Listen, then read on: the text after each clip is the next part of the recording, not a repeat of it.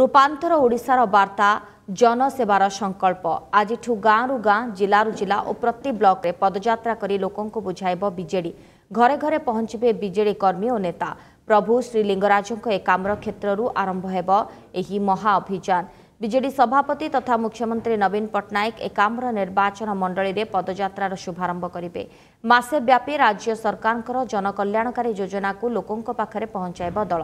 ପ୍ରବାଦ ପୁରୁଷ ବିଜୁ ପଟ୍ଟନାୟକଙ୍କ ସମେତ ଜାତିର ଜନକ ମହାତ୍ମା ଗାନ୍ଧୀଙ୍କ ଫଟୋ ରଖାଯାଇ ପଦଯାତ୍ରା କରାଯିବ